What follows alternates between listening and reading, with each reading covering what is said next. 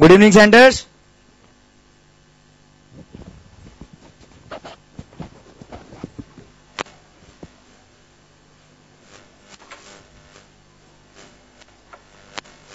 Yesterday we have started with debt financing and uh, we have discussed about certain concepts along with YTM, YTC. We have started with question 3, done question 4. We have done question 4 and uh, question 6 was given in the homework. I hope homework has been done by you guys. What is the answer of question 6?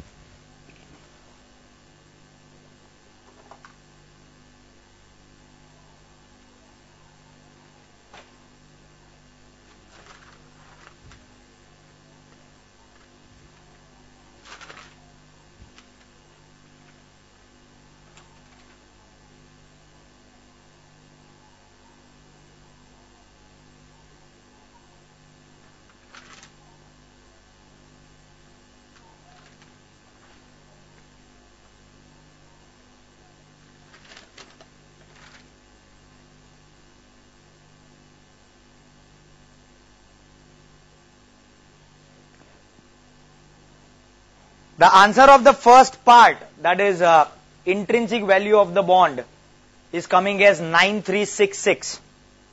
And uh, the answer of second one, that is YTM, is coming as 11.8 percentage. And on the basis of both the cases or both the answers, you need to make a decision that uh, whether the investor should buy the bond or not.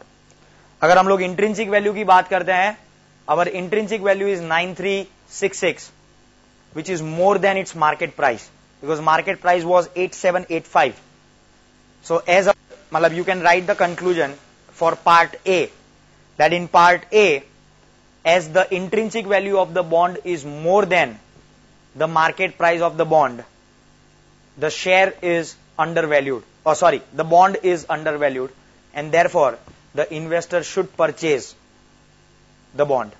And in the part B, you can write the conclusion that as the YTM of the bond is more than the discount factor of uh, the investment of,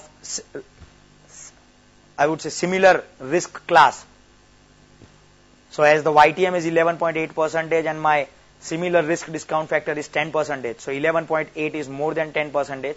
So we are going to earn better than the same risk class securities Therefore, we therefore the investor should invest in the securities. Okay, so this this was your answer and this was the conclusion of question number six. Starting further today, starting with question number one.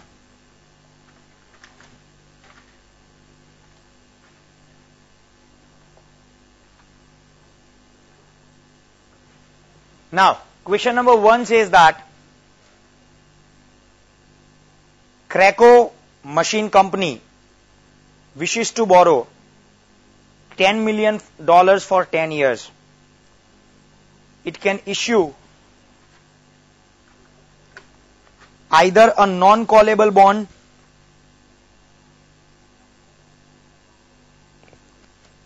it can issue either a non-callable bond at 11.40 percentage interest or a bond callable at the end of 5 years for 12 percentage.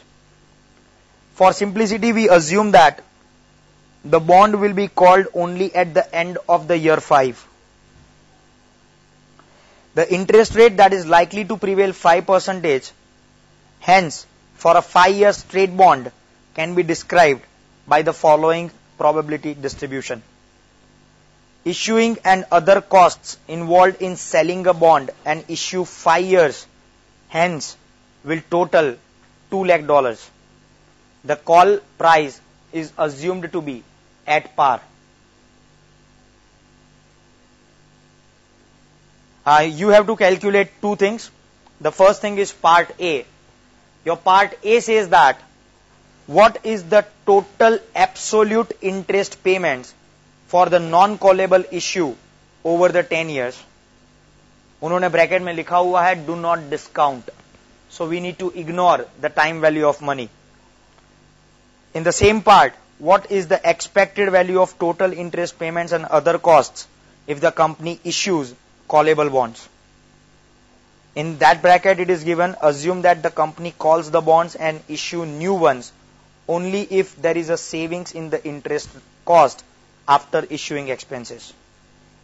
On the basis of total cost, should the company issue non-callable or callable bonds? So basically हमारे पास दो options है या फिर I would से company के पास दो options है either the company can go for non callable bonds for ten years or they can go for callable bonds. Now in callable bonds, for first five years, the interest rate is going to be 12 percentage and for next five years, the interest rate will be different along the different, the interest rates can be different with different probabilities. So, अब अगर हम लोग non callable bonds issue करते हैं तो हमारी total interest cost कितनी होगी? 10 साल की। और अगर हम लोग नॉन और अगर हम लोग कॉलेबल बॉन्ड्स इश्यू करते हैं तो हमारी 10 साल की issue cost plus interest cost कितनी होगी? वो हम लोगों को कैलकुलेट करना है। और इन दोनों में से जिसकी कॉस्ट कम होगी that will be selected as the option now starting with the consideration और I would say concern given in the question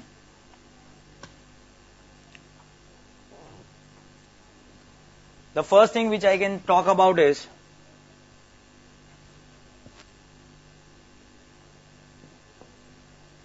the company can issue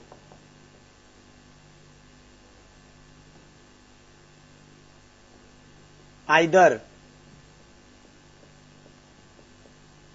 non-callable bonds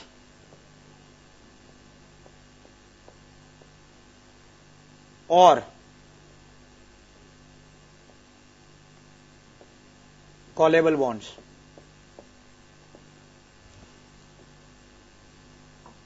Now, if I talk about this non-callable bonds,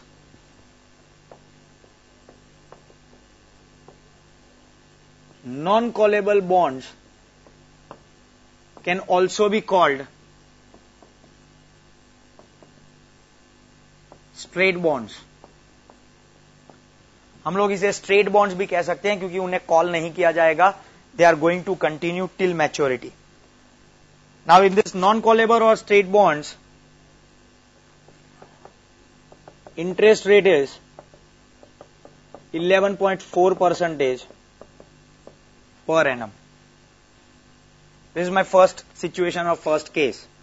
My second case is callable bonds. After five years पाँच साल के बाद bonds को call कर लिया जाता है so in that case interest rate would be for 1 to 5 years, 12 percentage. And for next 5 years, it will be probability distribution, which is given in the question. And if it is callable walls,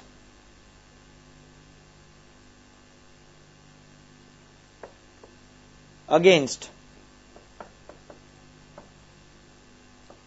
callable bonds.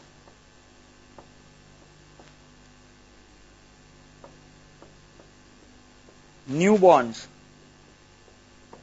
can be issued. हम लोगों ने कल के lecture में यह discuss किया था कि कॉलेबल बॉन्ड्स या फिर call option in bonds call option in bonds is the right with the company to redeem the debentures before the maturity और वो अपना रिडम्शन मैच्योरिटी से पहले तभी करेगी जब उस मैच्योरिटी से पहले का मतलब जिस वक्त वो कॉल करना चाहती है उस वक्त का इंटरेस्ट रेट उसके एग्जिस्टिंग इंटरेस्ट रेट से कम होगा। So here I am saying against callable bonds, new bonds can be issued only if the market interest rate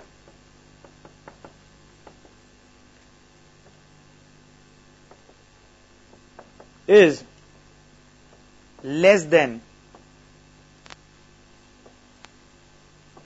Currently paid. Currently paid. Interest rate वो तभी होगा जब हमारा मार्केट का interest rate currently currently paid interest rate से कम है। So so, हम लोगों को यह भी देखना होगा कि अगर हम लोग कॉलेबल बॉन्ड्स इश्यू कर सक कर रहे हैं किन कंडीशंस में? पाँच साल के बाद हमारे पुराने bonds I would say redeem कर दिए जाएँगे और नए बॉन्ड्स इश्यू किए जाएँगे। और किन सिचुएशंस में पुराने बॉन्ड रिडीम नहीं किए जाएँगे? दे विल बी रिटेन्ड और एक और चीज़ when the new bonds will be issued when new bonds will be issued it will have a issue cost an issue cost of 2 lakh dollars this is also going to be taken into consideration क्योंकि हम लोग non callable bonds issue करेंगे या callable bonds issue करेंगे that will be decided on the basis of the total cost which includes interest cost और callable bonds में दोनों आएगा interest cost as well as the issue cost so we are starting with part A और I would say the first part पहले part में हम लोगों को ये पहला क्वेश्चन पूछा गया है that what is the total absolute interest payments for the non callable issue over ten years so interest amount for non-callable bonds equals to 11.4 percentage into ten million क्योंकि हमारे जो 10 मिलियन है तो मैं यहाँ पर लिख सकता हूँ the company can issues either callable or callable bonds for sorry, dollars. 10 million dollars. So 10 million dollars पर 11.4 percentage interest मिलेगा so that will be 1.14 dollars per annum. अब ये जो इंटरेस्ट आएगा that will be the interest per annum so if I talk about my total interest payment for 10 years it will be 1.14 into 10 so it will be 11.4 million dollars this will be my total interest payment यहाँ पर मैं note लिख देता हूँ the note will be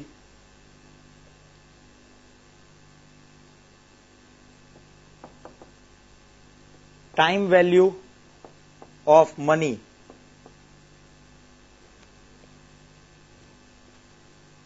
is to be ignored.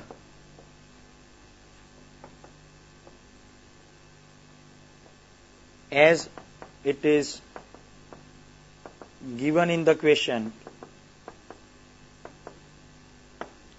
that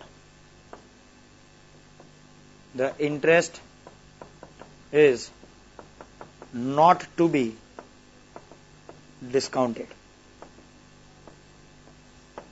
ये हम लोगों को बोल दिया गया है कि वो डिस्काउंटेड नहीं करने हैं so I am not taking और I am not considering the time value of money otherwise ये हमारे 10 साल का है so this is the interest of future 10 years तो इसकी हम लोगों को प्रेजेंट वैल्यू भी फाइंड करनी पड़ती बट उसकी ज़रूरत नहीं है because we are asked not to consider the discount rate now this is my interest amount for non callable bonds now I am talking the interest amount for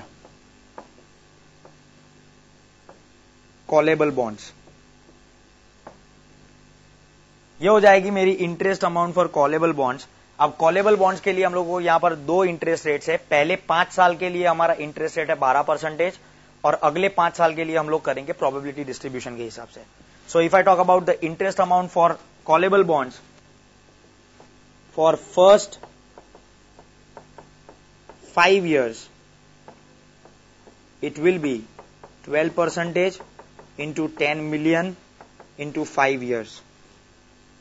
So 12 percentage into 10 million will be giving us 1.2 into 5 will be giving us 6 million dollars as an interest amount for first 5 years.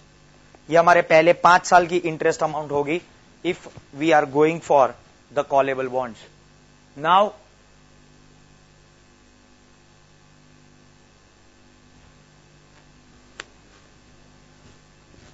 talking about the next five years. That is year 6 7 8 9 10 so here we are going to calculate for next five years.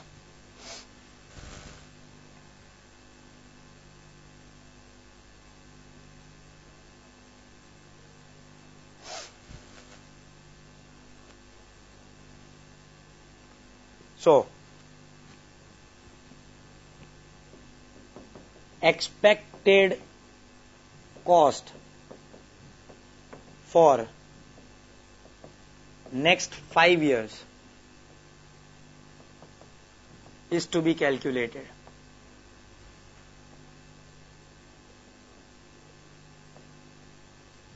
That is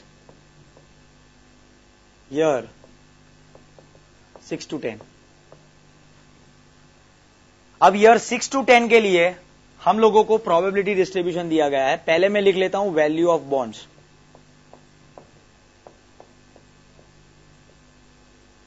now इसका मतलब यह है कि हमारे जो 10 साल के 10 million के बॉन्ड्स है, उन 10 मिलियन के बॉन्ड्स के लिए हम लोगों को कैलकुलेशन करना है।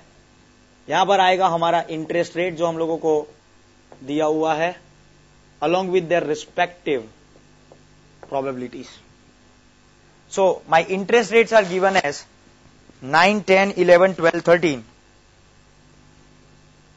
9%, 10%, 11%, 12%, 13%.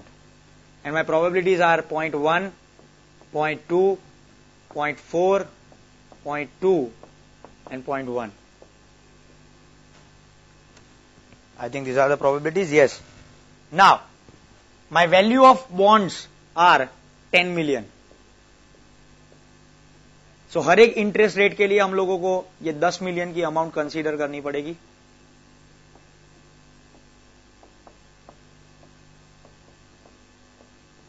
and here we will calculate interest per annum. So this will indicate that if I am having the bonds of 10 million and my interest rate is 9 percentage, my interest per annum would be 0.9. Here it will be 1. Here it will be 1.1. Here it will be 1.2 and here also it will be 1.2. Now, I'll give you the reasons for that. Now, the first thing which will come in your mind is कि 12 percentage तक तो ठीक है, क्योंकि 12 percentage multiply by 10 million गिनता हूँ so this is coming as 1.2 million but in 13 percentage when the interest rate is 13 percentage which can be multiplied by 10 million we should get 1.3 why we are taking 1.2 so यहाँ पर यहाँ पर मेरा explanation ये होगा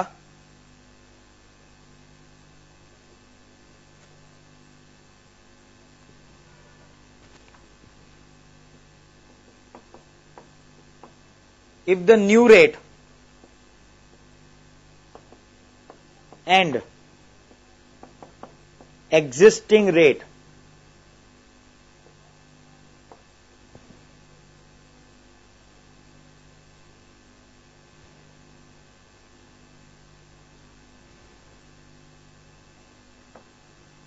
if the new rate and existing rate are same or if the new rate is more than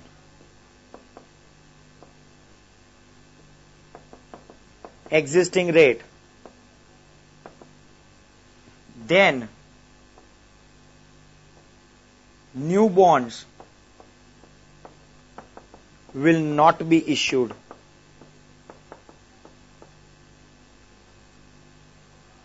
so so, अगर आपका नया रेट एग्जिस्टिंग रेट जितना है या फिर नया रेट एग्जिस्टिंग रेट से ज़्यादा है तो हम लोग नए बॉन्ड्स इश्यू नहीं करेंगे because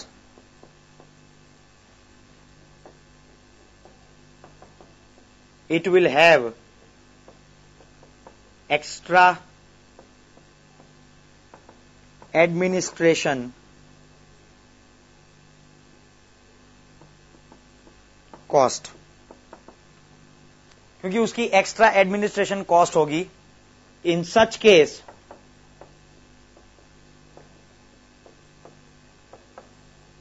the old bonds will be retained.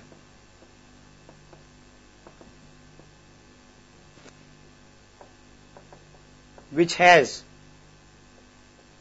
an interest rate of 12 percentage. So, for the rates of 12 percent and 13 percentage new bonds are not needed to be issued. जो मैंने वहाँ पर भी बोला कि कंपनी अपना कॉल ऑप्शन तभी exercise करेगी जब उसका market interest rate current interest rate से कम है। So here I am making a column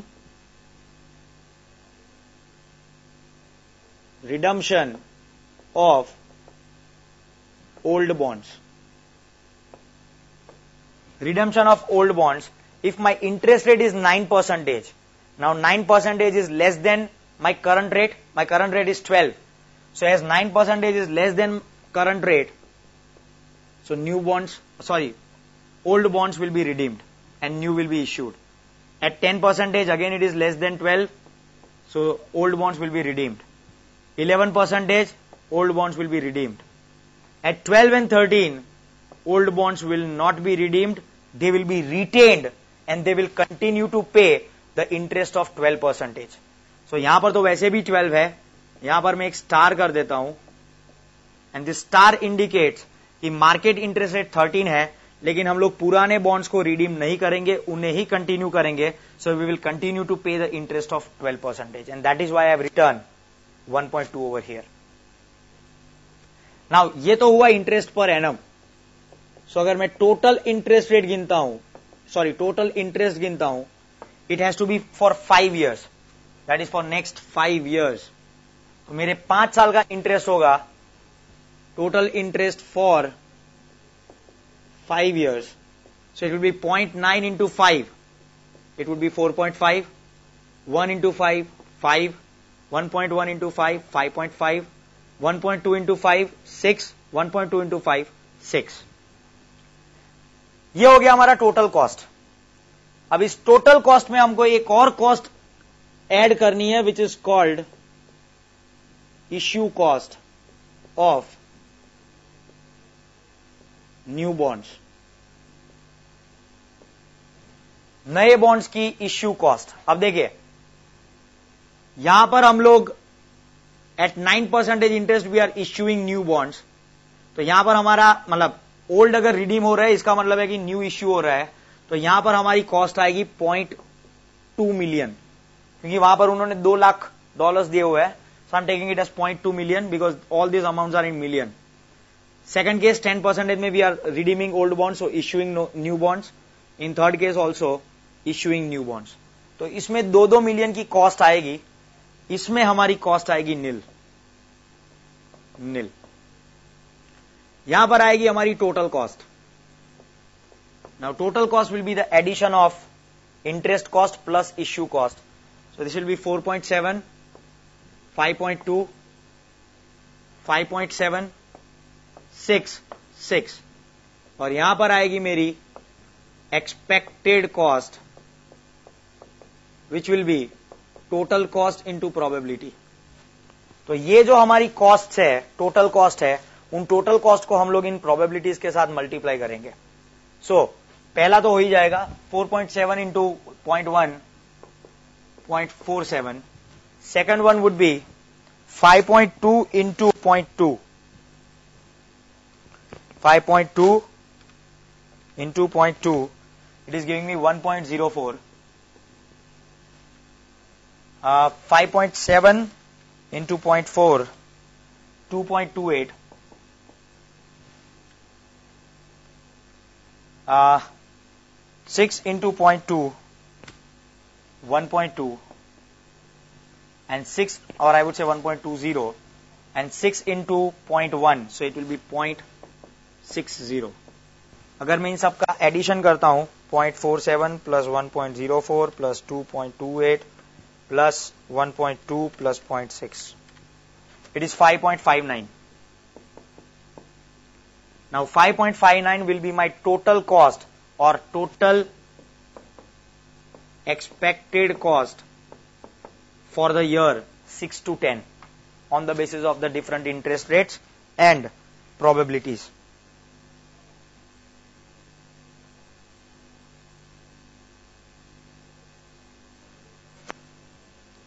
so, यहाँ पर मैं एक एडिशनल नोट लिख देता हूँ just for your reference the old bonds will be retained. Sorry will be redeemed.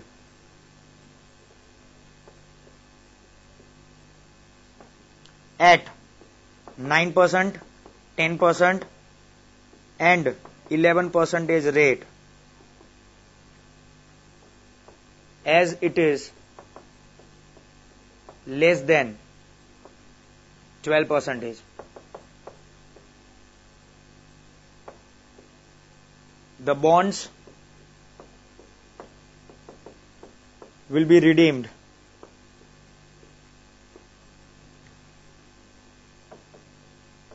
from the funds of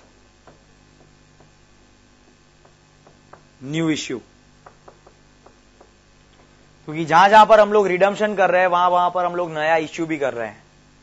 तो पुराने बॉन्ड्स को रिडीम करने के लिए जो फंड चाहिएगा, वो फंड हमारे नए इश्यू में से जो मिलेगा, वहाँ से आएगा। So now talking about the final thing total cost of callable bonds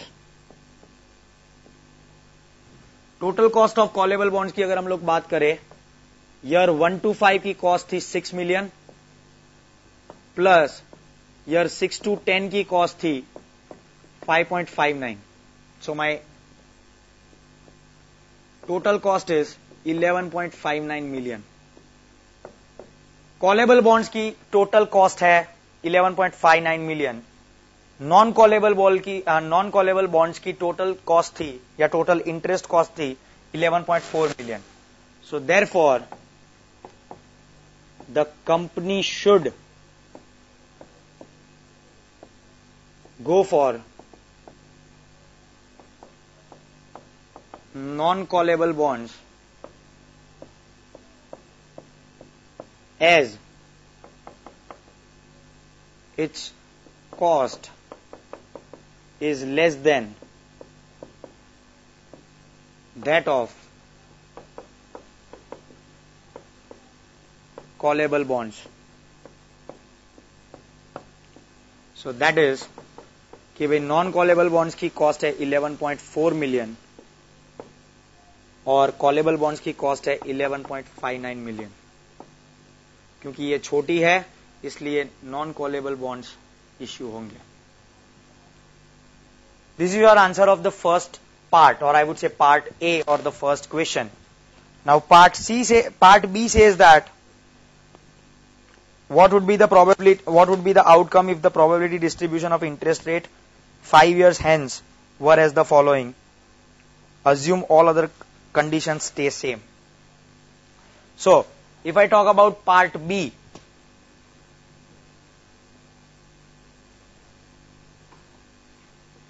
part B.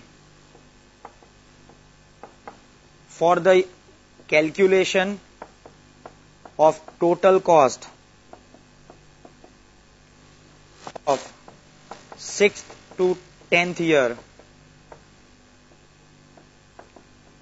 for callable bonds.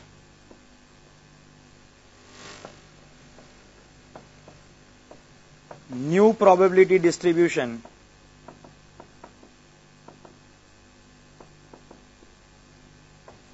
Will be taken.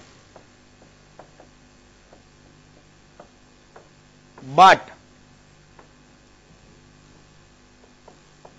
total cost of non callable bonds. That is 11.4 million. And cost of callable bonds for first 5 years that is year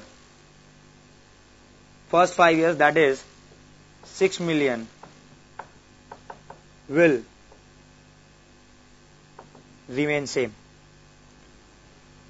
so हमारी non callable bonds की interest cost same रहेगी that is 11.4 million हमारे callable bonds की पहले पाँच साल की cost same रहेगी दैट इज़ सिक्स मिलियन लेकिन आखिर के जो पाँच साल है उसका कैलकुलेशन हमें वापिस करना पड़ेगा, क्योंकि वहाँ पर रेट्स चेंज हो रहे हैं। It is seven nine eleven thirteen and fifteen probabilities change हो रही है।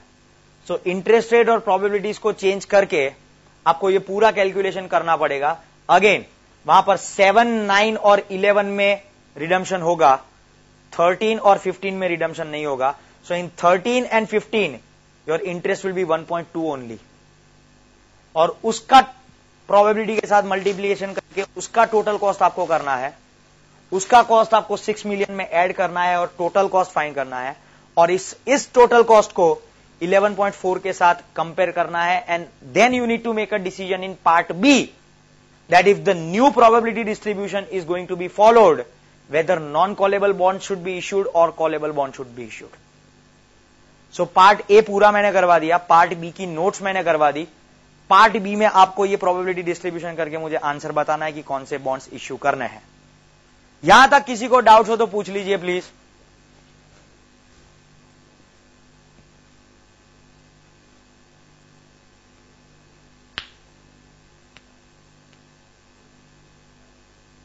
Gyan Ganga classes what did you want me to repeat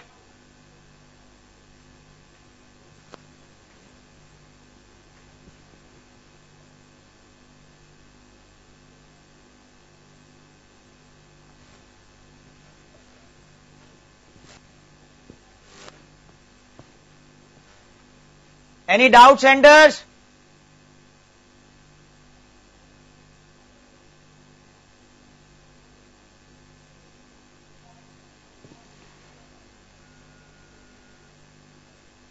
Amritsar Mehsana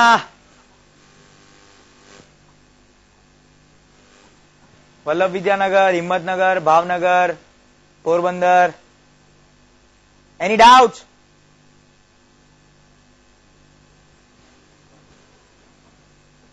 Okay. Uh, Ganga classes, the answer of question 6 was in part A, the intrinsic value was more than the market price of the bond. I am repeating, the intrinsic value is more than the market value of the bond.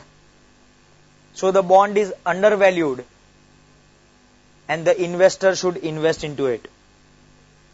And for part B, the YTM of the bond is more than the discount factor of the same risk class investment as we are earning 11.8 percentage in comparison of 10 percentage. Therefore, the investor should go for investment in bonds. This was the conclusion. Is it okay, Gyan Ganga classes?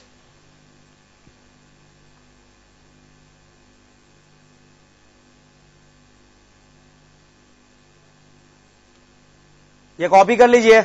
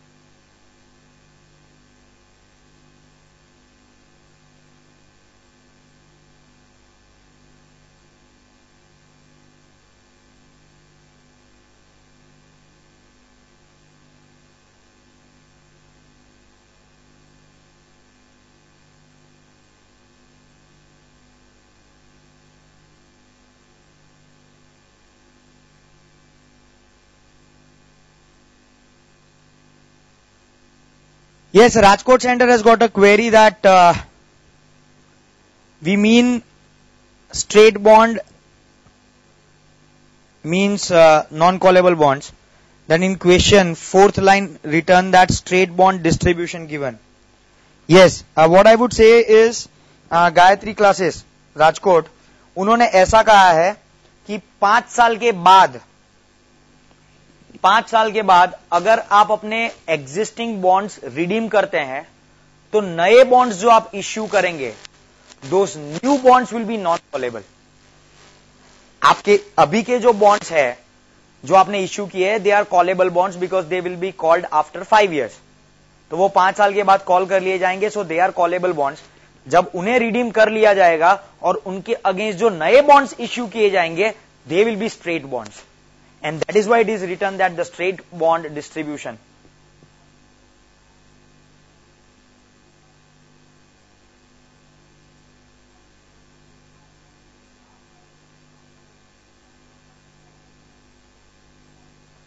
Yes, Amritsar Center, correct.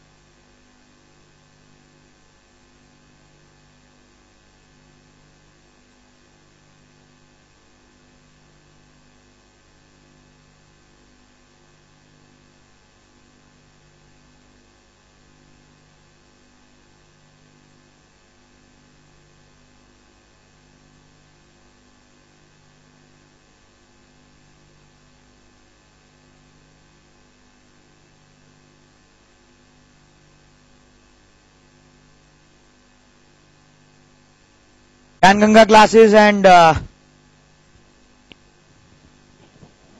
Vallabh Vidyanagar center आप लोगों के answers गलत है। It is not 11.42 it is 11.22 million Himmatnagar center correct आपका सिर्फ़ एक गलती है। You have return it as 11.22 percentage it is not percentage it is in amount form so it is 11.22 million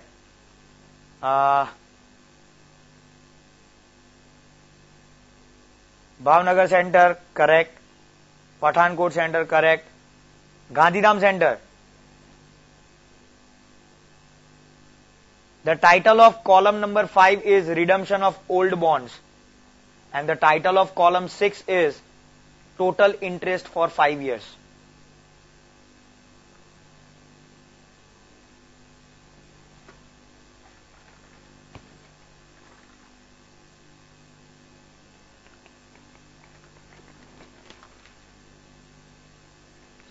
Copied?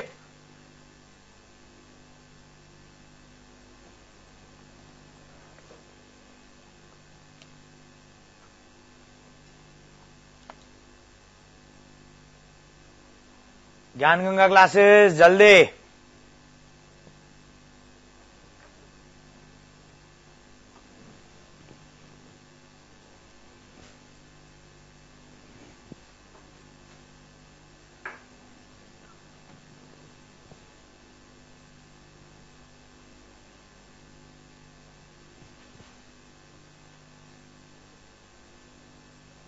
Yes, all the centers I told you to send the leasing notes अब तक मैंने भेजी नहीं है। You will get it by next Thursday आपको अगले गुरुवार तक में मिल जाएगी।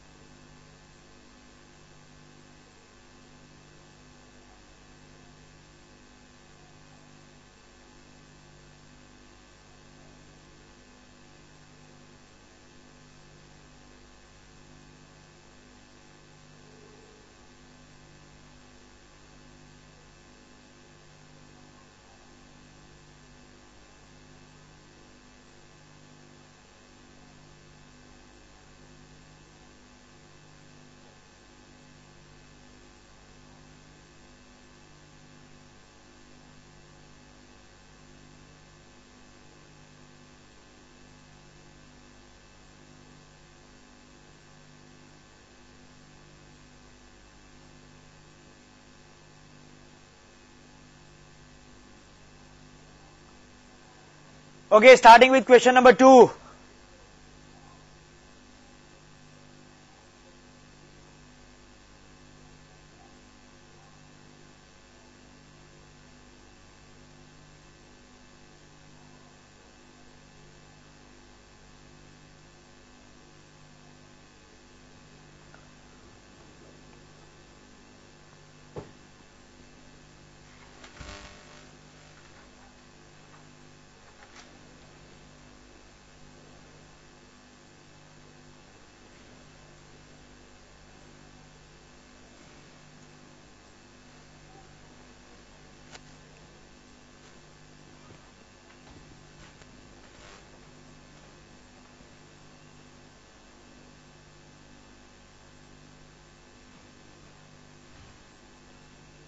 Question number two says that five years ago, Zapada International issued $50 million bonds for 10 percentage.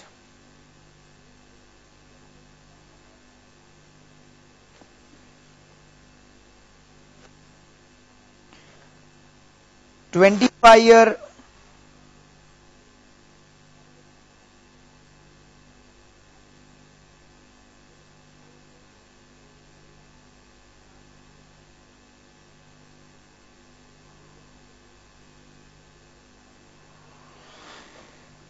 Sorry 25 years debentures at a price of uh, 990 dollars per bond to the public the call price was originally 1100 per bond. The first year after instance sorry after issuance. And this price declined by 10 dollars each subsequent subsequent year. Zapata now is calling the bonds in order to refund them at a lower interest rate. First, ignoring taxes, what is the bondholder's return on investment for the five years? Assume that the interest is paid once a year and that the investor owns one bond. Okay okay. ये जो first first question या फिर I would say part ए में जो आप लोगों को bracket में दिया हुआ है उसके उस ब्रैकेट में लिख दीजिए the investor owns one bond of rupees sorry of dollar thousand तो उस बॉन्ड की फेस वैल्यू थाउज़ेंड है. सो so, अगर हम लोग पहले पार्ट की बात करें if I talk about part A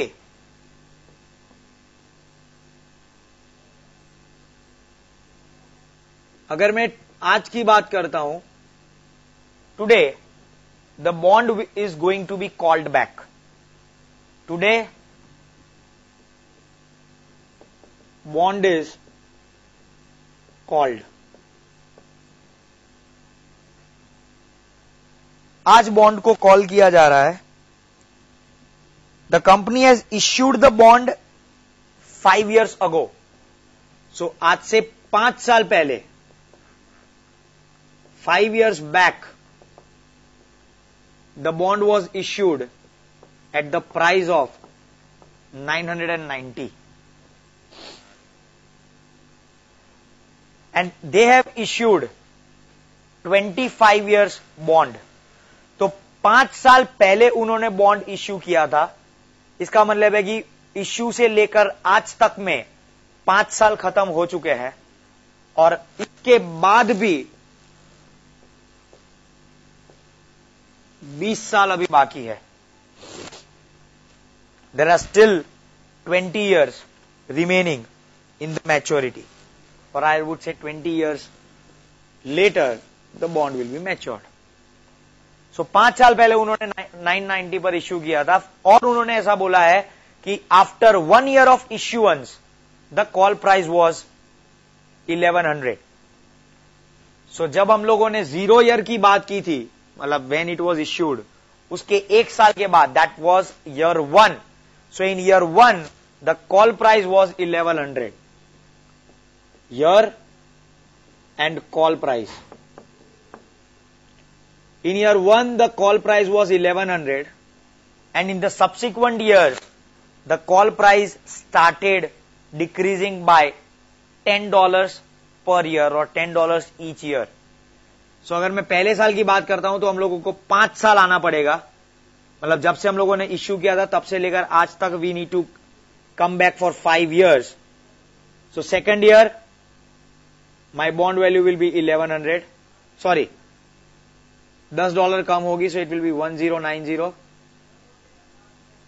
third year would be one zero eight zero fourth year would be one zero seven zero and fifth year would be one zero six zero this one zero this 1060 will become my call price.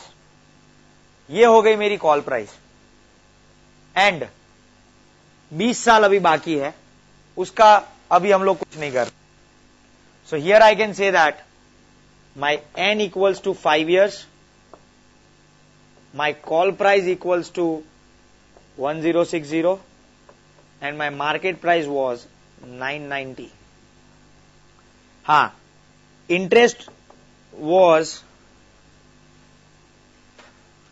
ten percentage bond so interest would be ten percentage of 1000 rupees. So it will be $100. And on the basis of this, we need to calculate the first part or first part में ऐसा बोला हुआ है ignoring taxes what is the bond holders return on investment for five years. तो इन पाँच साल के लिए उस बॉन्ड होल्डर का रिटर्न कितना होगा so we can calculate approximate approximate YTC approximate YTC हम लोग कैलकुलेट कर सकते हैं और यहाँ पर अप्रोक्सीमेट गिन रहा हूँ so we are we can take into consideration the shortcut method तो shortcut method is interest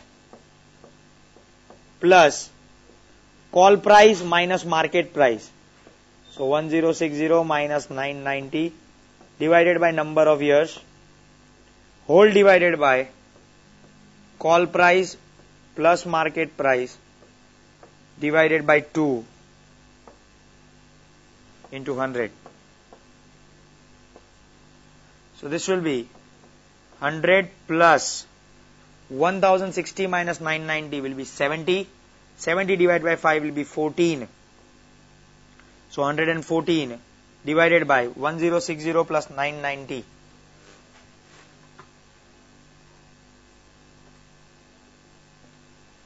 Two zero five zero divided by two will give me one zero two five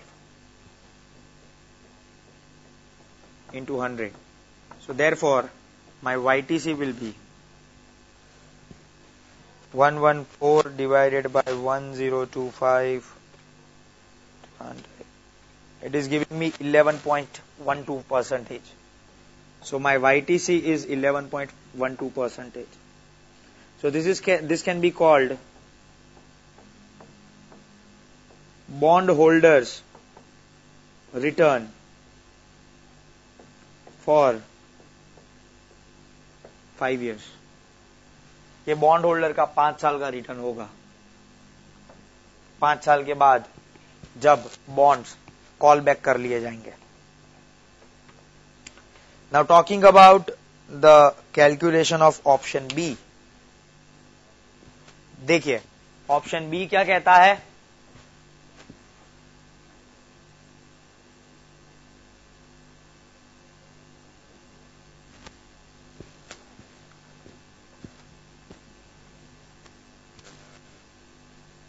Option B saying that if the if the bondholder can now invest $1,000 in a 20-year bond of equivalent risk that provides 8% interest, what is his overall cash flow return over 25-year holding period? And how does this compare with the return of Zapata bonds had they not been called? Assume again, again that interest rate is paid once a year.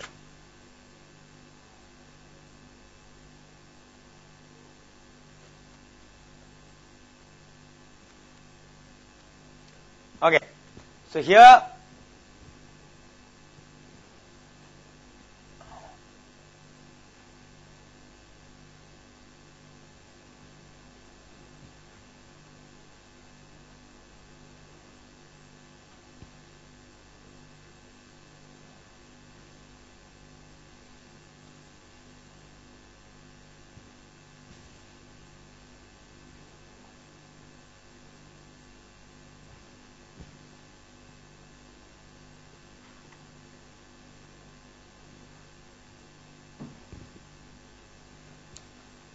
So in part B, it is saying that the bondholder is investing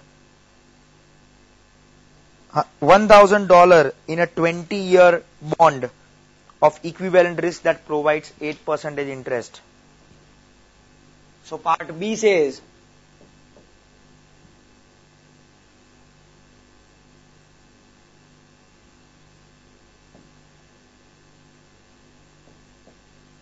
bondholder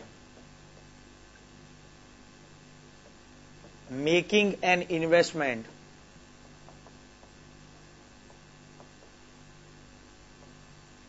Of thousand dollars in 20 years bond at interest of eight percentage. वो हज़ार रुपए के bond में बीस साल के लिए invest कर रहे हैं, जिस पर उन्हें एट परसेंटेज इंटरेस्ट मिलेगा। So my interest will be eight percentage of thousand this will be eighty sorry dollars इसका मतलब यह है कि अगर कंपनी ने जो बॉन्ड इश्यू किए हैं, उस बॉन्ड को इस बॉन्ड होल्डर ने खरीदा हुआ था।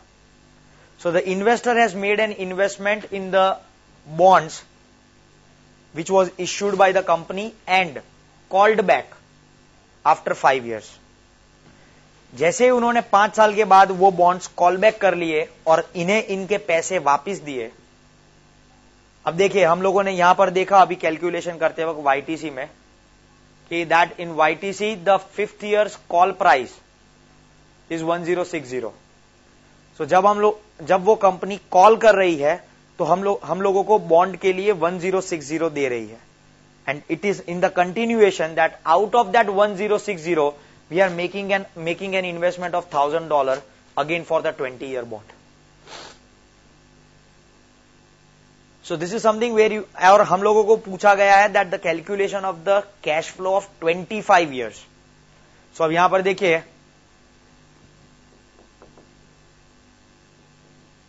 Calculation of 25 years cash flows if the bonds are called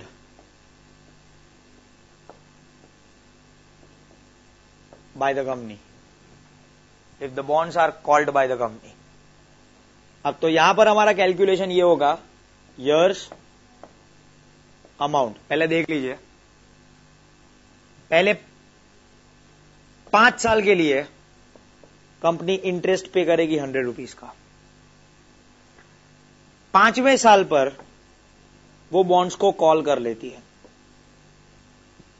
In the fifth year the bonds are called at 1060 लेकिन, हम लोगों को पूरा एक हज़ार साठ रुपया नहीं मिलता because out of this one thousand sixty we are making an investment of one thousand again so at the end of fifth year what we are actually getting one thousand sixty minus thousand so we are actually getting sixty because एक हज़ार साठ हमें जैसे ही मिलते हैं we are making an investment again तो वो हज़ार रुपए तो हमारे पास रहते ही नहीं है, हमारे पास सिर्फ़ साठ रुपए रहता है। ये जो हज़ार रुपए हम लोगों, हम लोग इन्वेस्ट कर रहे हैं we are going to invest it for twenty years so we are going to make an investment from six year to twenty fifth year और ये छह साल से लेकर पच्चीस साल तक हम लोग जो इन्वेस्टमेंट करेंगे, उसमें हम लोगों को आठ परसेंटेज इंटरेस्ट मिलेगा so my interest will be eighty and at the end of twenty fifth year I'll be getting thousand rupees as my redemption amount और जब इन सब का कैलकुलेशन करेंगे will be able to get the cash flow of 25 five years I hope you would have got it now इसके लिए again first of all we are suppose to calculate KD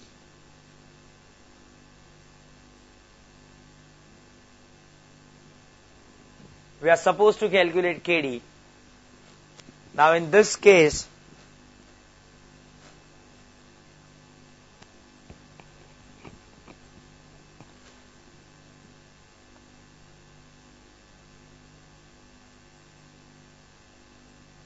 KD calculate करने के लिए जो हम लोग formula use करते हैं interest plus F minus P upon N यहाँ पर दिक्कत यह है कि एन क्या ले should be taken as five because it is called back और whether the N should be taken as twenty five because it's a total term period I would say N should be taken as five क्योंकि पाँच साल के लिए हम लोग bond पाँच साल के बाद हम लोग बॉन्ड को कॉल कॉल बैक कर लेते हैं।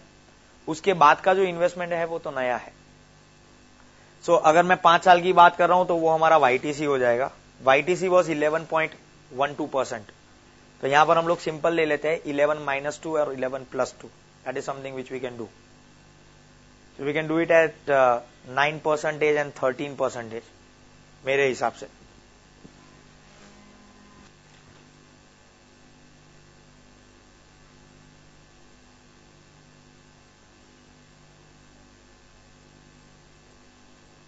सो नाइन परसेंटेज और इलेवन परसेंटेज ले सकते हैं. एट या ट्वेल्व ले सकते हैं. जिस तरह से आप लेना चाहें। मेरे हिसाब से नाइन और इलेवन ज़्यादा अच्छा रहेगा क्योंकि वो आपके आ, वो जो वाईटीसी हम लोगों ने कैलकुलेट किया उसके हिसाब से नज़दीक से आ रहा है। चलो आठ और दस करते हैं आठ और बारह करते हैं I don't mind let's say PVF at 8 percentage and PVF at 12 percentage.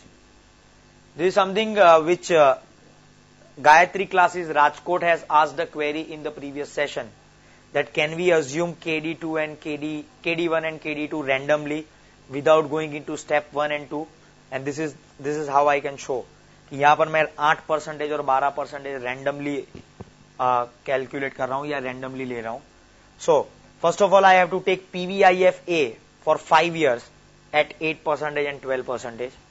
So my PVIFA for 5 years at 8 percentage it is 3.993 and this will be 3.605. For 5th year PVIF would be 0.681 and 0.567. Then I need to take from 6th to 25th year. तो six to twenty fifth year के लिए हमारा PVIF ए लेना पड़ेगा तो इसमें हम लोग एक सिंपल करेंगे, जो हम लोगों ने टाइम वैल्यू ऑफ़ मनी में किया था पहले हम पूरे 25 साल का पीवीआईएफ ए लेंगे so PVIF A from PVIF A of 25 years minus PVIFA of 5 years. And PVIFA of 25 minus PVIFA of 5 years gives me 6.682 and 4.238. 6.682 and 4.238 और लास्ट ईयर मतलब ट्वेंटी फिफ्थ ईयर का पीवी आई एफ आ रहा है point one four six and point zero five nine 0.146 and 0.059 and now I can have my present values at 8 percentage and present values at 12 percentage. So 100 into 3.993 it gives me 399.3 60 into 0.681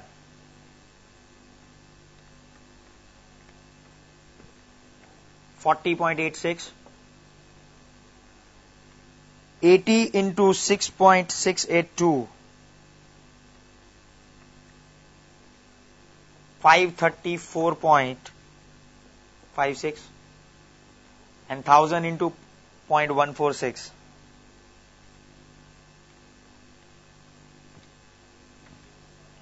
it is 146 making a total of them it is 1120.72. 12 percentage. 100 into 3.605 it will be 360.5 60 into 0.567 34.02 80 into 4.238 339.04 and 1000 into 0.059 will be 59 and the total of this will be 792.56 now out of this amount we are going to subtract my market price which was 990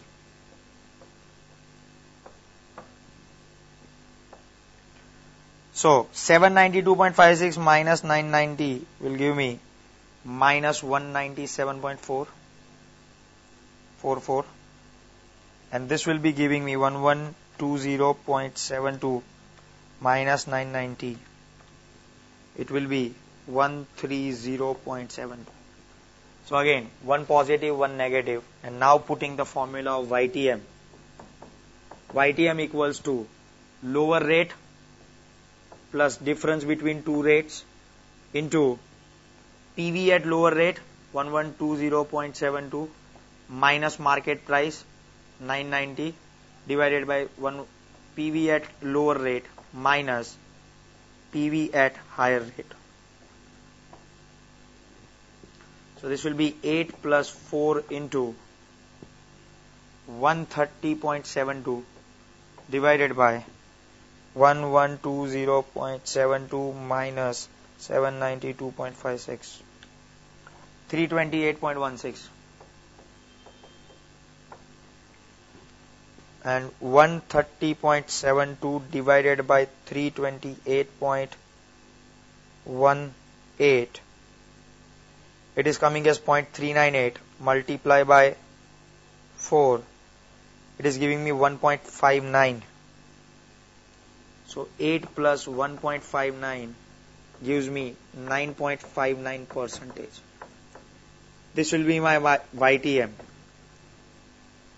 this will be considered as my YTM for 25 years if the original bonds are called after 5 years and out of that call price $1000 are reinvested for next 20 years at 8 percentage मतलब मेरे original bonds 10 percentage वाले पाँच साल के बाद call back कर लिए जाते हैं उसमें से जो मुझे कॉल प्राइस मिलती है, एक हज़ार साठ डॉलर की out of that one thousand sixty dollar I am reinvesting thousand dollar for next twenty years at eight percentage और इन टोटल 25 साल का मेरा जो वाई वाईटीएम आ रहा है that is 9.59 percentage and now उसी पार्ट बी में हम लोगों को एक और ऑप्शन पूछा गया है that what if the bond bonds are not called after five years वहां पर हम लोगों को यह पूछा गया है that what if the bonds are not called back after five years So in that case,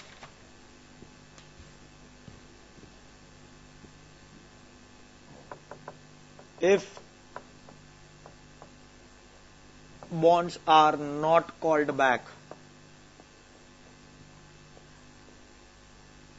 after five years अगर वो पाँच साल के बाद कॉल बैक नहीं किए जाते हैं, इसका मतलब है कि आपने जो पहले इन्वेस्टमेंट किया था जपाडा इंटरनेशनल के बॉन्ड्स में, आप वही इन्वेस्टमेंट कंटिन्यू करेंगे। So here your N will be twenty five years your redemption value will be thousand क्योंकि कॉल प्राइस 1060 थी। तो 1060 की प्राइस तभी मिलेगी जब बॉन्ड्स कॉल बैक होंगे। लेकिन यहाँ पर तो कॉल हो ही नहीं रहे। So they are going to be redeem at par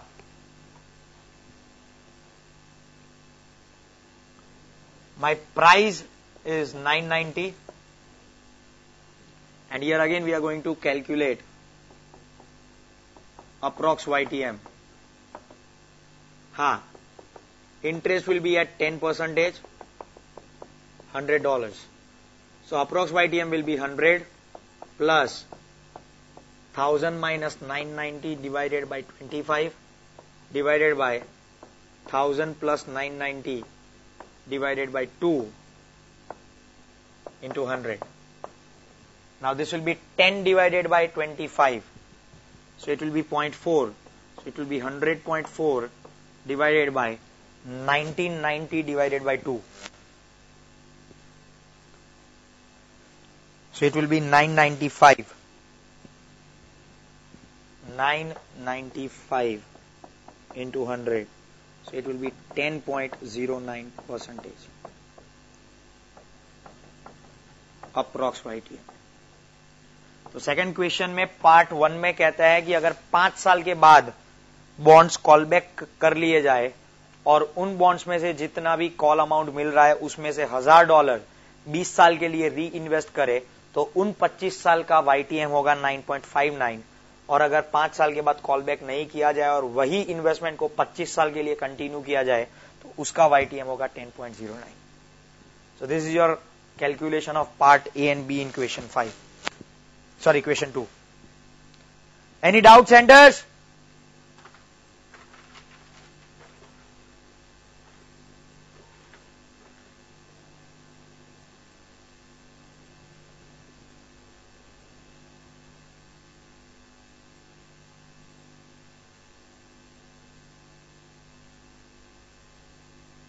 कर लीजिए then we'll be moving on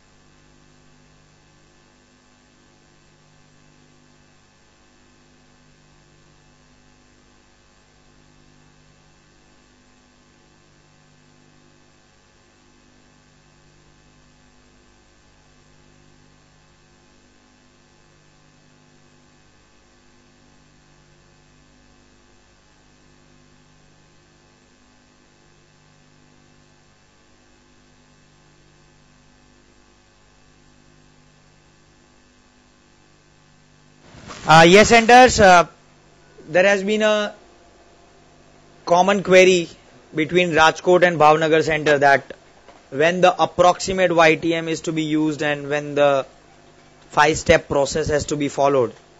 See, I said that when uh, while discussing the approximate YTM, I said that approximate YTM will be used for the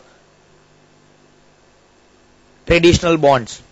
और traditional bonds के जो characteristics मैंने बताए थे, वहाँ पर मैंने लिखा था कि the interest amount is going to be fixed and it will be paid at regular intervals यहाँ पर आप पार्ट ए में देखिए या पार्ट बी में देखिए, दोनों में वहाँ पर लिखा हुआ है that the interest is paid only once a year and the amount of interest is going as constant if you look at the board जहाँ पर मतलब अभी जो आप लिख रहे हैं For first five years, the amount of interest is remaining constant at 100 rupees. And from 6 to 25, the amount of interest is remaining constant at 80 rupees. So in this case, you can use approx YTM. और एक चीज हमेशा याद रखेगा कि approx YTM और पांच step वाले वाईटीएम में मैक्सिमम जो डिफरेंस होगा ना वो आधे परसेंटेज का होगा so there will be a difference of 0.5 percent between the approx YTM and approx YTM and five step Y T M दूसरी चीज़, जब भी आप लोगों को ऐसा क्वेश्चन पूछा जाएगा then also you need to understand कि कितने मार्क के लिए पूछा गया है। इफ़ द क्वेश्चन इज़ आज for four to six marks this kind of question is for four to six marks you are not suppose to do the five step process because it will take a long long time और I would say lot of time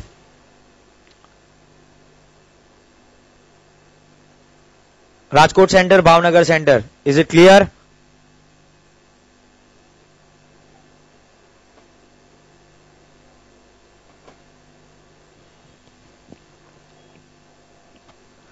Gandhidham Center. Which part B you are talking about? In first question, please explain B part. Are you talking about this question or the previous question?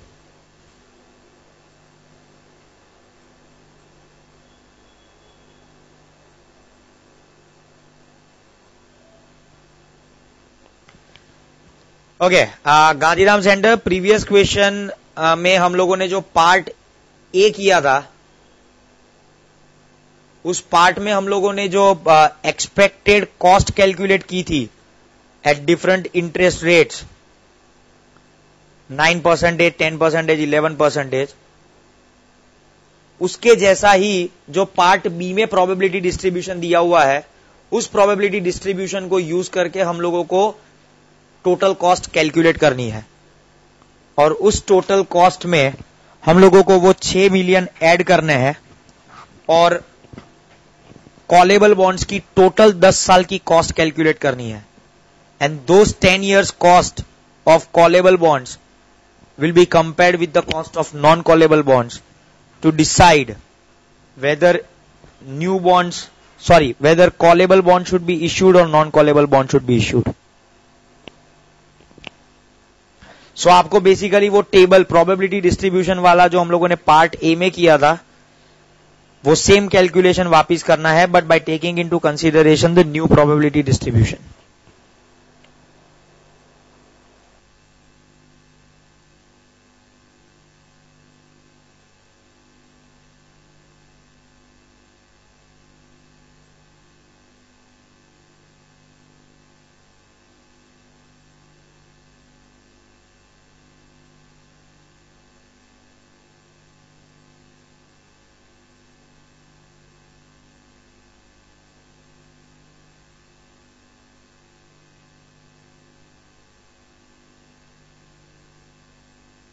Gyan Ganga classes पहले ये copy कर लो, फिर I am moving it again to the second part first just copy down then I move it to the second part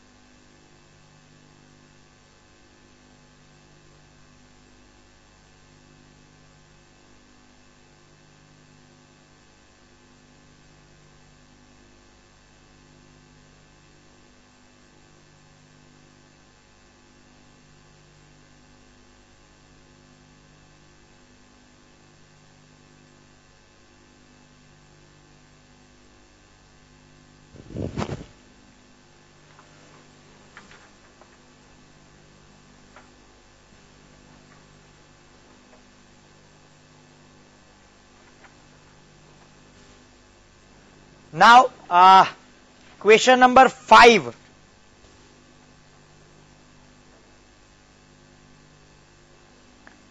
Question number 5 is to be done in the homework. Question number 5 is similar to question number 2. उसमें हाँ of course the number of years and amount will be different वहाँ पर ऐसा बोला गया है कि Venkat purchased at par a bond with a face value of thousand जिसकी मैच्योरिटी पाँच साल की है कूपन रेट दस परसेंटेज है। लेकिन वो बॉन्ड दो साल के बाद कॉल बैक कर लिया जाता है बारह सौ रुपए में। After making the second interest payment तो after two two it is is called back अब जो बारह सौ रुपए में कॉल बैक किया जा रहा है, उसमें से हज़ार रुपए वेंकट वापिस री इन्वेस्ट करता है तीन साल के लिए at seven percentage so so, जो मतलब जो बॉन्ड उन्होंने खरीदा है हज़ार रुपए पर यहाँ पर मैं खाली आपको समझाने का ट्राई कर रहा हूँ। You need to do it from your homework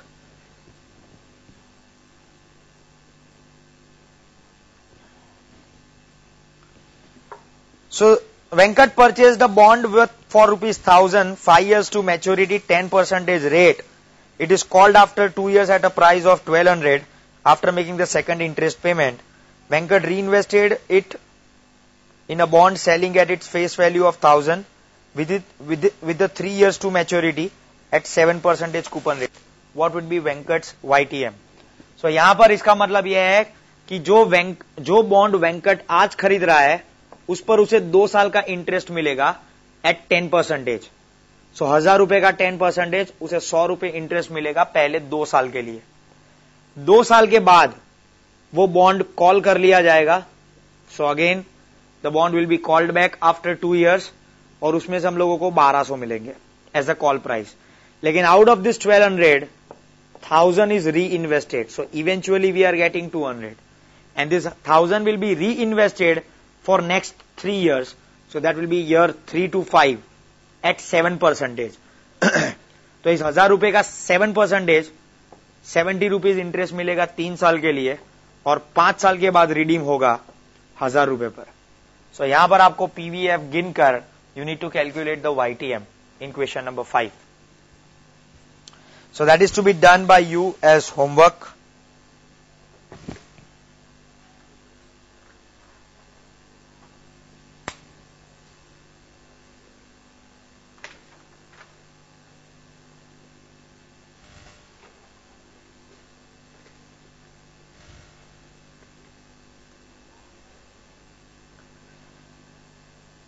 Centers, hope you have got it that it is to be done in the homework.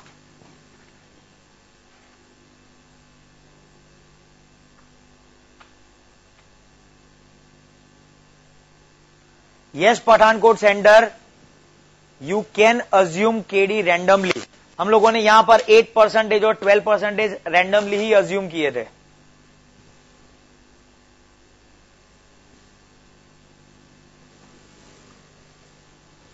Okay, last question for the day, question number 7.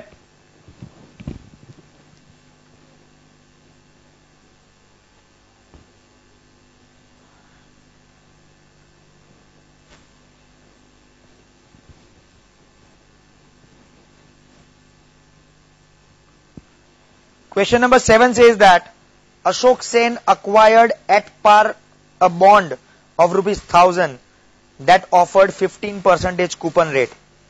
At the time of purchase, the bond had 4 years to maturity. Assuming annual interest payments, calculate sense, that is Ashok Sen's, actual YTM if all interest payments were reinvested in an investment earning 12% per year. What should be Sen's actual YTM if all pin interest payments were spent immediately upon receipt? Okay. So यहां पर आपको एक आई would से एक sentence underline करना है which is talking about second line calculate sense actual yield to maturity if all interest payments were reinvested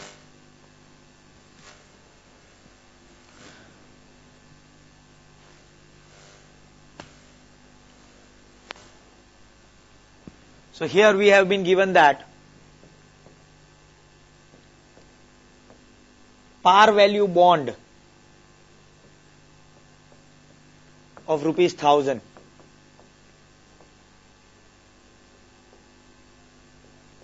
coupon rate at 15 percentage. So therefore interest will be 15 percent into 1000 150 अब यहाँ पर जो पहला option हम लोगों को दिया गया है कैलकुलेशन ऑफ़ रियलाइज्ड वाईटीएम हम लोगों को रियलाइज्ड वाईटीएम करना है। हाँ यहाँ पर बताया गया कि जब हम लोगों ने बॉन्ड खरीदा, तब उसकी मैच्योरिटी चार साल की थी। So four years maturity calculation of realized YTM here I am writing realized YTM will be calculated.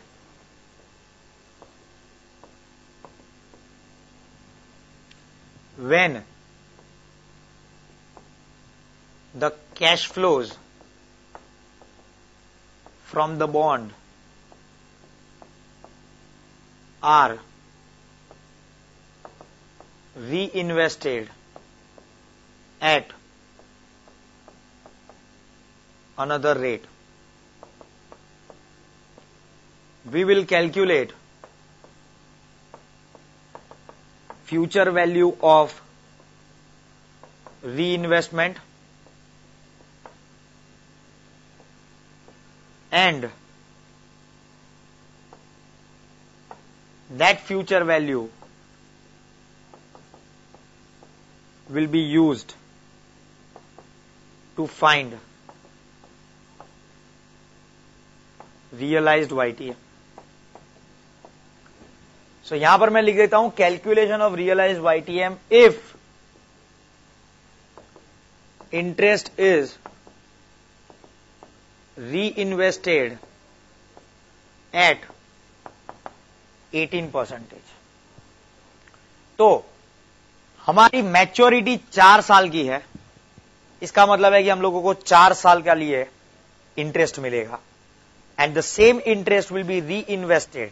Now look at this. Your amount.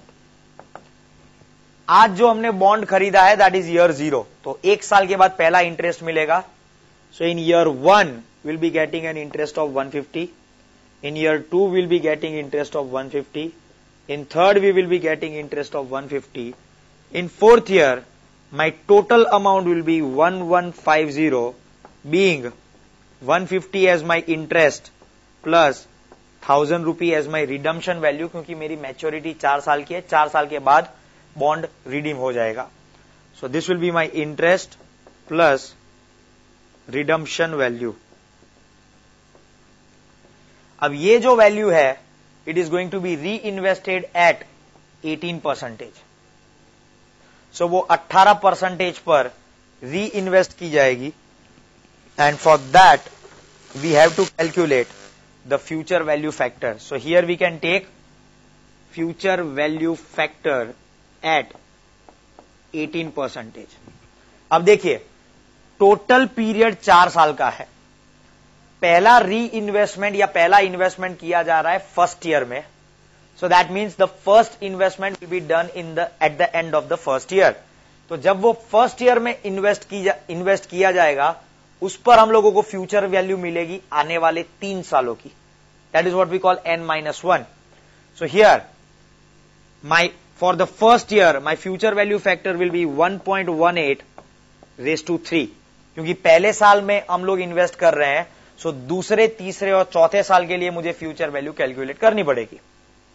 For the second year the future value will be calculated for two years that is third and fourth For the third year investment or reinvestment, future value will be calculated for one year and for fourth year future value will not be calculated because that would be the last year so fourth year में हम लोगों को जो री investment की पैसा मिलेगा वो वो का वही मिलेगा उसे हम लोग री इन्वेस्ट मतलब उसकी फ्यूचर वैल्यू हम लोग कैलकुलेट नहीं करेंगे because that will be the maturity because reinvestment time and the maturity time ends at the same place तो for the last year the future value factor will be raise to zero so यहाँ पर हम लोग अब future value calculate कर सकते हैं। हाँ you can do this 1.18 raised to 0 will be 1 1.0 1.18 raised to 1 will be 1.18 1.18 raised to 2 so, that is 1.18 square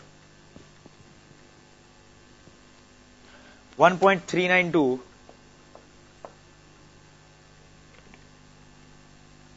raised to 3 is 1.643 and now we can calculate the future value. So it will be 150 into 1.643 246.45 150 into 1.392 208.8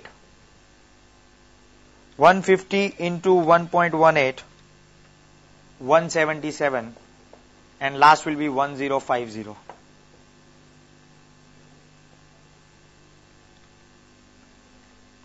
and my future value will be 10 sorry 1682.25 this will be my future value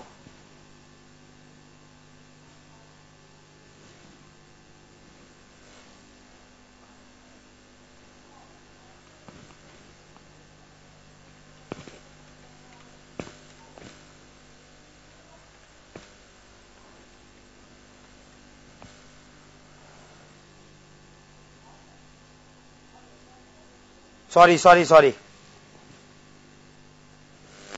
Thank you, centers. This is 1150. So this will be 1150 and this will be 1782.25. ठीक है ये हो गई हमारी future value अब इस future value के basis पर हम लोग रियलाइज्ड वाईटीएम कैलकुलेट करेंगे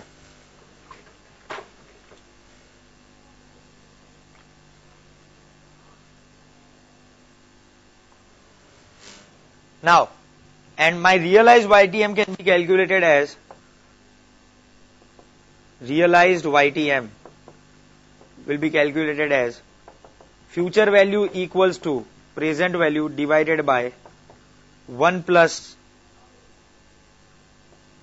RYTM raised to n. RYTM इसलिए लिख रहा हूं because we are calculating realized YTM. So now my future value is 1782.25. My bond value was at par. So it will be 1000. Sorry. Sorry, sorry, sorry.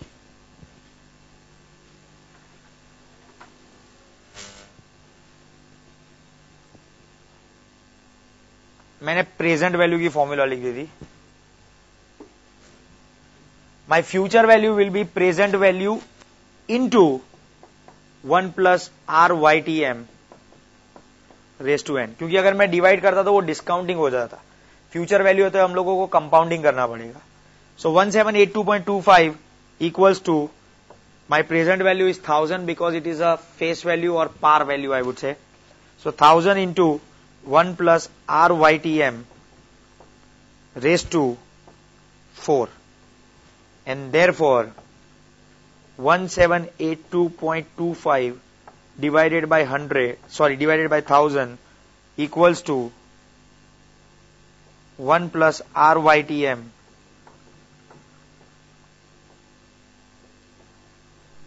raised to 4 and therefore 1 plus RYTM raised to 4 equals to 1 point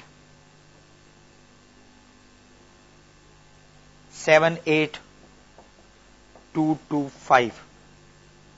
Therefore, अब ये जो है 1.782 चलो in last दो digit को निकाल देते हैं क्योंकि हमारे टेबल्स में वैसे भी डेसिमल के बाद तीन डिजिट है। सो इन 1.782 को हम लोगों को एफवीआईएफ टेबल में चार साल के लिए देखना पड़ेगा। So looking that is what we call reverse mode so looking for 1.782 in FVIF table for four years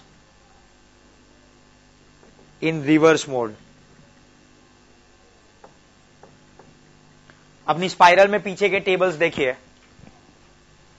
F I F that will be your first table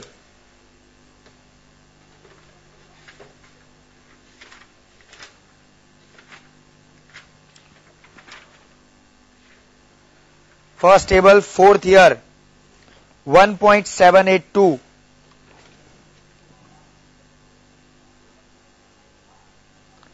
Now if you look at fourth year, 1.782 is coming between 15 percentage and 16 percentage.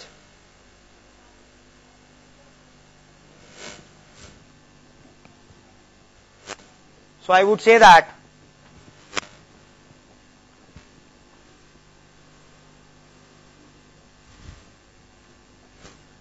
FVIF at 15 percentage 4 years is 1.749.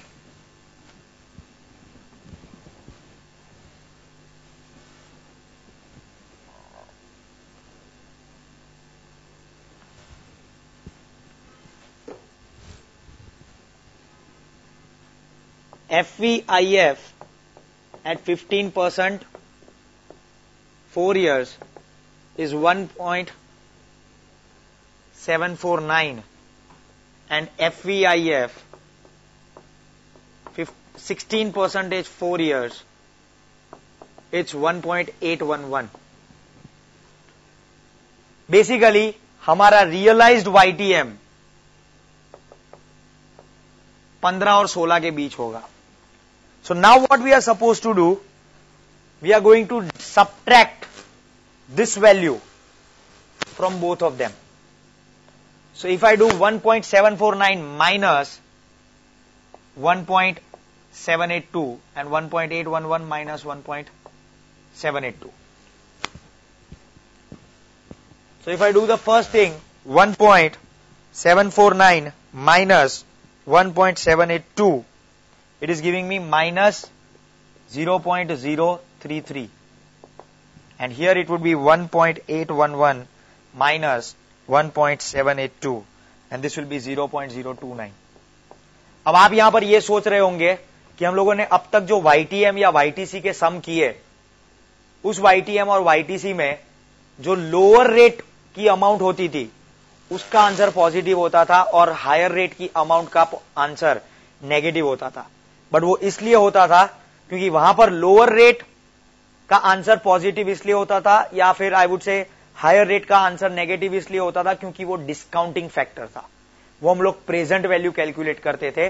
So the present value at a higher rate is decreasing where future value at a higher rate is increasing और इसलिए यहाँ पर higher rate की amount positive में आएगी lower rate की amount negative में आएगी। और अब हम लोगों को वाईटीएम का ही फॉर्मूला लिखना है but we will write it is as r YTM formula वही है। That is lower rate 15 plus difference between two rates 1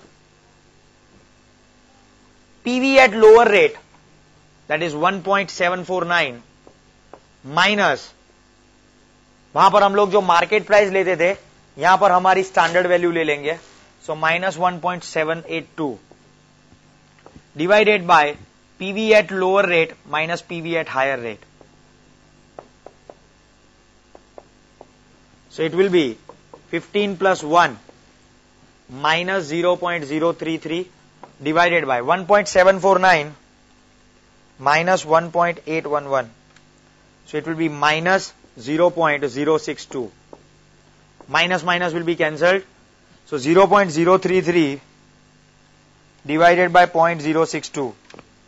It is giving me 0.53.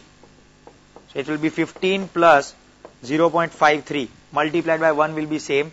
So my realized YTM is 15.53 percentage. This is my realized YTM if the interest of 150 rupees per year is reinvested at 18 percentage. और उसी question की last line देखिए उस question की last line दी हुई है what would be your YTM if the interest is spent immediately अगर वो इंटरेस्ट को री इन्वेस्ट नहीं करते हैं तो फिर हमारा सिंपल फॉर्मूला ले लो. Approx YTM approx YTM will be interest तो इंटरेस्ट था 150 plus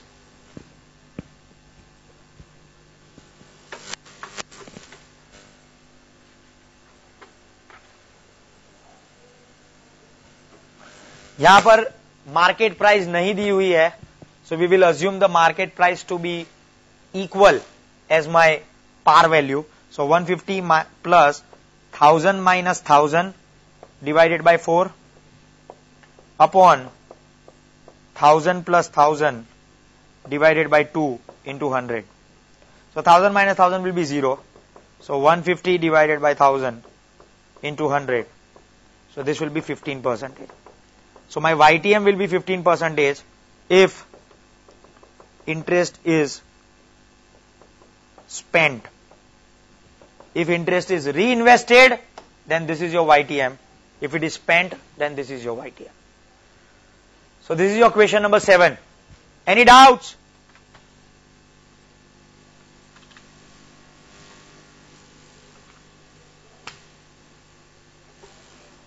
Any doubts, senders?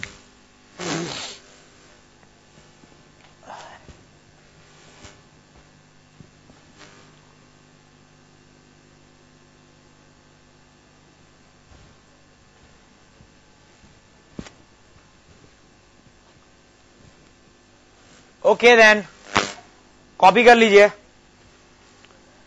that's all for the day hope you have enjoyed the session thank you so much good night question five is to be done in homework see you in the next lecture